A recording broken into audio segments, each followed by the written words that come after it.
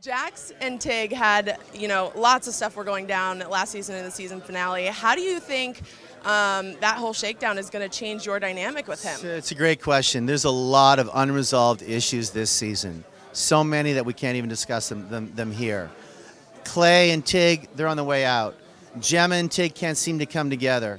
Jax and Tig, uh, that was so harrowing at the end of season five, like you said. And it even, I can't say anything, but just wait to see what happens in season six. Uh, there's a lot of issues that, that are just really unsolved for Tig. That's a very good way of putting it. And so we'll see if Sutter, you know, resolves them this season or waits till next season. We, we just don't know.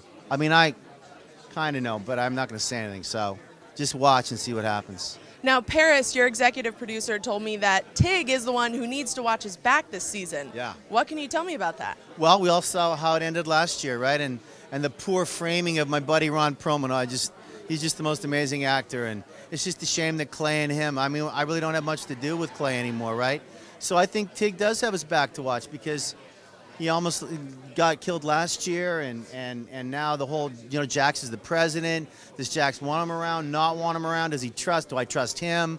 There's a lot of trust issues. I mean, you've seen the poster. Have you seen the poster? I have, yeah. Everyone's scrapping. Mm-hmm. Everyone, it's mayhem. So get ready.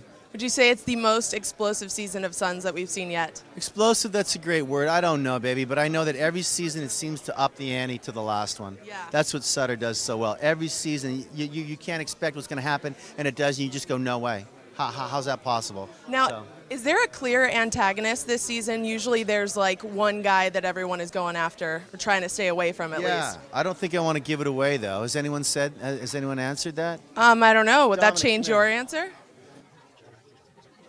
Can't answer. Sorry. Can't Dominic- answer that. We just got the uh, we just got the official word.